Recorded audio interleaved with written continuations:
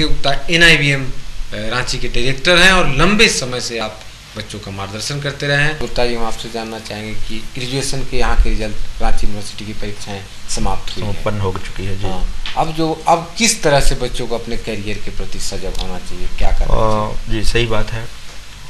ये ज़िंदगी का ये कहा जाए तो जो शैक्षणिक जैसे स्कूल कॉलेज अंतिम पड़ाव है इनका। अब ये जनरली जो होते हैं स्टूडेंट मीडियोकर कहा जाए या जो भी इकोनॉमिक कंडीशन का अच्छे भी है उनका सबका फैमिली का प्लानिंग गार्जियन का यही होता है ग्रेजुएशन हो गया है और इसके बाद अपने जॉब ले लें। ठीक है? और जॉब में भी सिक्योरिटी होना चाहिए। सभी जगह जॉब की बात नहीं होनी चाहिए जो कि नेशनलाइज हो सेंट्रल गवर्नमेंट की जॉब हो। अगर प्रायोरिटी सबकी वही रहती है। तो निश्चित रूप से वैसे स्टूडेंट जो अभी ग्रेजुएशन के एग्ज़ाम दे चुके हैं बेस्ट ऑफ़ लक आपके रिजल्ट्स अच्छे आए। काफ़ी अच्छे मिनिमम 60 परसेंट तो आना ही चाहिए। और नहीं भी आए हैं तो उसके लिए भी प्लानिंग है। मैं परसेंटेज की बात यहाँ इसलिए करना चाह रहा हूँ कि बी बैंकिंग सर्विस रिक्वायरमेंट जो बैंकिंग में सर्विस करना चाहते हैं प्रोविशनल ऑफिसर्स के लिए। तो उनका अभी देखा जा रहा है कि पहले तो ग्रेजुएट होना चाहिए था, लेकिन अब 55 परसेंट किसी में 60 परसेंट किसी में 65 परसेंट मिनिमम क्वालिफिकेशन रखे जा रहा है। इसीलिए मैंने बेस्ट ऑफ़ लक आपको कहा कि नंबर अच्छे आ जाए। और दूसरी बात जो अगर 55 परसेंट किसी कारण नहीं आ, आ पाते हैं तो उनको भी हतोत्साहित होने की आवश्यकता नहीं है। उनके लिए भी प्लानिंग है।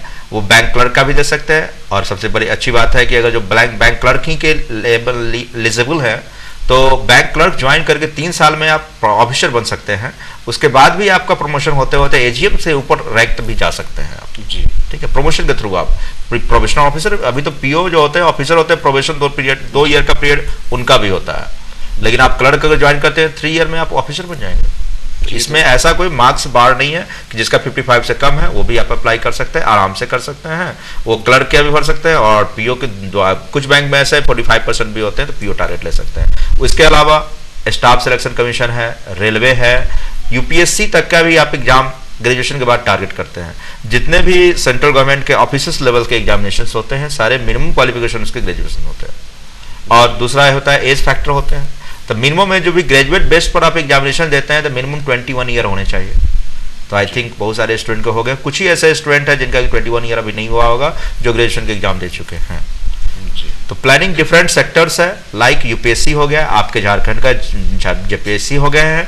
आपके जो नियरेस्ट या पड़ोसी राज्य है बिहार हो गया वेस्ट बंगाल हो गए या ऑल ओवर इंडिया जितने भी स्टेट्स है सबका स्टेट लेवल पर सर्विसेज़ कमीशन के एग्जामिनेशन होते हैं उसके लिए भी अपना तैयारी कर सकते हैं। तो निश्चित रूप से ग्रेजुएशन के एग्ज़ाम जो दिए हैं पहले से वो अपने सपने को सजोए होंगे जी। कि प्लानिंग हमको ग्रेजुएशन के एग्ज़ाम के बाद वो करने हैं। बिल्कुल आप उस उस तरफ़ आप अग्रसर होने की आपकी सही समय आ गई है लेकिन सही समय के साथ सही रणनीति भी होनी चाहिए। जी। रणनीति और कितने समय लगेंगे और किन किन किताबों को पढ़ने चाहिए और अप्रोच कैसे होने चाहिए? Scientifically approach to the point approach होना चाहिए। जो कि आपके न्यू पैटर्न्स के पैटर्न पर आप तैयारी कर रहे हैं। ना कि आप तैयारी कर रहे हैं, लेकिन पता चला एग्जामिनेशन के पैटर्न पर नहीं कर रहे थे तो फिर जाके आपके समय बर्बाद हो जाएँगे। इसलिए आप निश्चित रूप से पहले किसी कैरियर काउंसिलर से मिले, किसी अच्छे आप सीनियर से मिले, और या नहीं तो किसी कोचिंग इंस्टीट्यूट से जाए, या नहीं तो किसी समाचार पत्रों में कैरियर काउंसिलिंग का प्रोग्राम होते रहते हैं, या आपके पी नज़र लाइव प्रोग्राम्स है टेलीफोन से कंटेक्ट कर सकते हैं कंसल्ट कर सकते हैं कि क्या करना चाहिए, क्या नहीं करना चाहिए। वैकेंसी काफ़ी है। कंपेरिजन कर कंपेरेटिवली स्टडी करने पर देखा गया है जितने भी रिक्रूटमेंट बोर्ड होते हैं उसमें क्या होता है बैंक का वैकेंसीज काफ़ी है।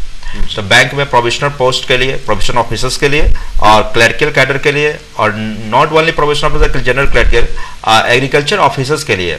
जी। टेक्निकल जो होते हैं मैनेजमेंट ट्रेनिंग वगैरह ये सब के भी ये काफ़ी वैकेंसी आ रहे हैं। तो इसमें एक अच्छा स्कोप है ग्रेजुएट स्टूडेंट के लिए। जी। और और इसमें क्या होता है सबसे अच्छी बात है कि बहुत कम ही समय में आप सैलरी सैलरी पा सकते हैं बैंक में जाकर। कम समय का बात मैं कहना चाहता हूँ तो सिक्स मंथ आप अगर रेगुलर और ऑनेस्टली के साथ तैयारी करते हैं तो आप किसी बैंक में अपने आप को पाते हैं।